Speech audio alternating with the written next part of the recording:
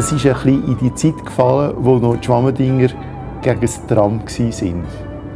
Es hat ja mal eine Abstimmung gegeben, ob das Tram auf Schwammendinger kommt oder nicht. Und ich bin auch komischerweise bei den Gegnern gelandet. Ich weiß es jetzt nicht mehr genau, wieso, aber ich war also vehementer Gegner vom Tram, weil ich gesagt habe, die Entflechtung wird noch stärker. Also wir haben damals 12 Prozent Nein, jetzt weiß ich es auch nicht mehr genau. Wir hatten ganz wenige Arbeitsplätze. Gehabt. Und also 12 von 100 können in Schwammendingen arbeiten und alle anderen mussten weg von Schwammendingen arbeiten. Und dadurch ist es eben die Schlafstadt geworden.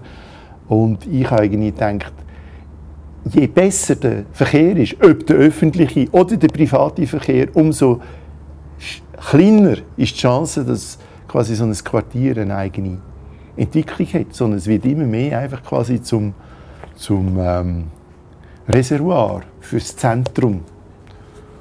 Und darum habe ich gedacht, es ist vielleicht noch gut, mit dem Bus und über, mühsam nach Schwammendingen zu kommen, damit man vielleicht da selber sagt, ja, wir müssen etwas tun im Quartier selber.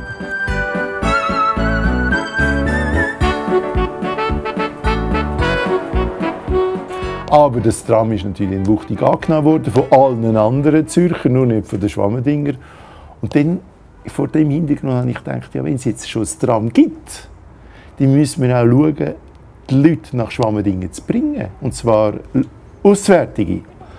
Und nicht nur zu Führungen oder so, sondern wir haben dann angefangen, kulturelle Veranstaltungen in den Ziegelhütten zu machen.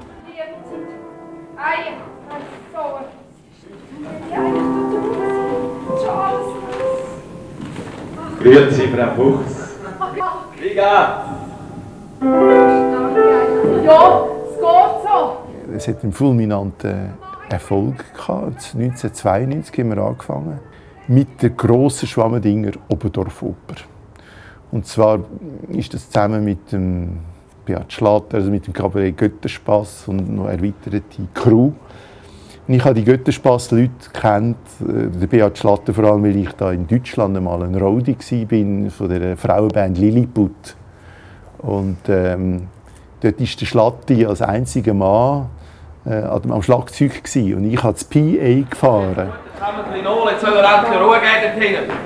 Oh, Sonst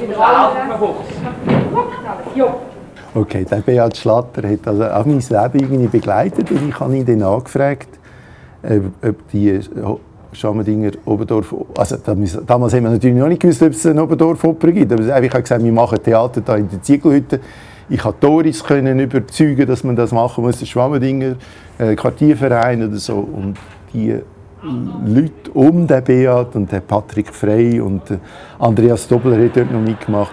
Wir waren also eine Crew, sagen wir, von 10 bis 12 Leuten, die, die das äh, vorantrieben haben.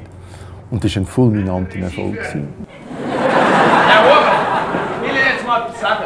Lobowski, sagt Ihnen den Namen etwas? Ja, natürlich kann ich sagen Lobowski. Wer kennt denn nicht? Ein Lobby. Huber, der Herr Lobowski wird in einer von unseren Vorstellungen hier unten sitzen. Das hat mir seine Sekretärin persönlich geschrieben.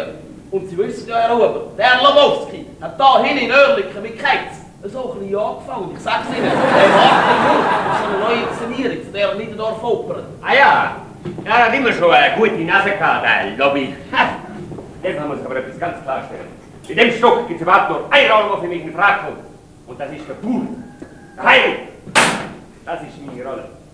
Das ist immer schon meine Rolle gewesen, aber 25 Jahre lang ist mir der die Walter vor der Sonne gestanden. Und hat von Lunge gesungen. Mir mag all niemand etwas tun und Tränen sind ihm aber gelaufen. Aber nicht gegen die Walter. Er ist ein hervorragender Schauspieler. Meine Herren, haben Sie mich verstanden. Entweder spielt der Heil in der Pool oder kauft jetzt aus und das ist Ernst einer Produktion. Das weiß ich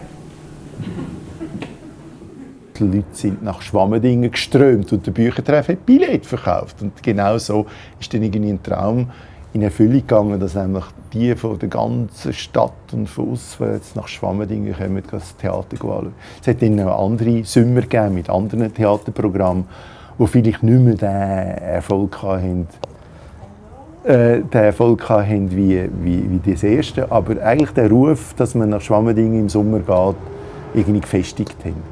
Und das Schöne, wirklich das Schöne, und das, das macht mein Herz jetzt noch warm, ist, dass wirklich auch Schwammendinger mitgemacht haben. Also in den Kostümen haben sie mitgemacht und die, äh, äh, Kasse hat äh, Dani Schwab und, und äh, Hans-Peter Schnebeli und all die Schwammendinger Grössinnen haben da, haben da mitgewirkt und auch damalige, ähm, der damalige ähm, Regierungsrat Leuenberger ist dann gekommen, eigentlich regelmäßig jeden Sommer hat er dann das äh, ist schauen und ähm, es hat einen gewissen Ruf gehabt und ich kann mit einer gewissen Satisfaktion auf die Zeit zurückschauen. Finanziell jetzt nie wahnsinnig rentiert, aber ähm, in dem Sinn reihen wir uns ein in eine typische Kulturgeschichte, die finanziell nie so gut ist wie der Ruf. Aber äh, alleweil, wir haben überlebt und jetzt leben wir halt noch ein bisschen von, von diesen schönen Anekdoten. Wieso haben Sie eigentlich den schönen Hof müssen verkaufen mit dem niegelnagelneuen Suzuki-Fütterungscomputer und diesen zwei stattlichen Silos neben der zweistöckigen Bodenhaltungseieranlage? Eire hat Rubenteil wie gesoffen! Soppe! Bis wir versäckelt haben! Alle haben mich versäckelt! Alle haben mich versäckelt! Traurig versäckelt! Die Freisinnigen haben mich versäckelt! Jawohl, genau so ist es. CVP hat mich versäckelt! Der Landesring hat mich versäckelt! Eine Stange für Sie? Da über den Stoff Fuchs. Kantonalbank hat mich Eine versäckelt! Stange für Sie? Na warte, es kommen dann noch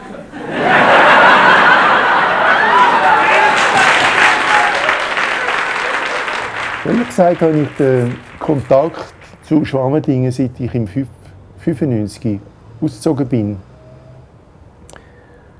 nur noch privat gehabt. Also ich habe nicht mehr so mitbekommen, was da in Schwammendingen lebt. Es ist so ein vereinnahmt worden von den Sozialarbeitern und von irgendwelchen Gutmenschen von der Stadt Zürich, dass eben Schwammendingen Aufwertung erfährt. Da hat so ein alter Bauer sein junge Kälbli auf ein Förderband aufgestellt.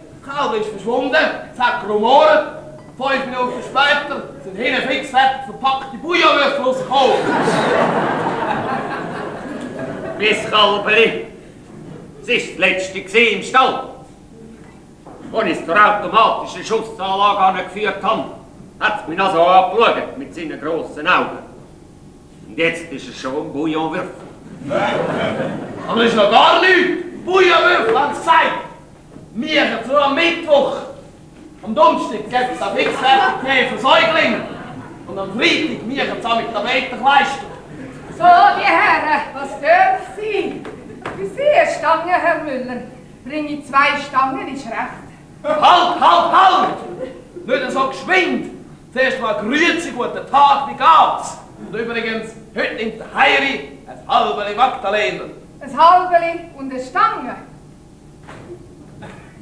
Und wie geht's euch heute Abend, Herr Hunziger? Soll ich Ihnen das Händchen geben? Wenn Sie an der Fresse oder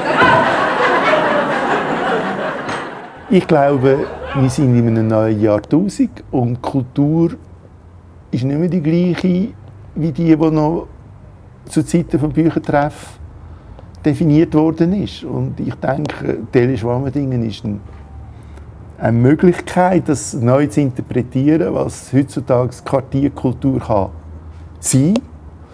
Und ähm, ich bin überzeugt, dass da sehr viel passiert, von dem wir nicht wissen.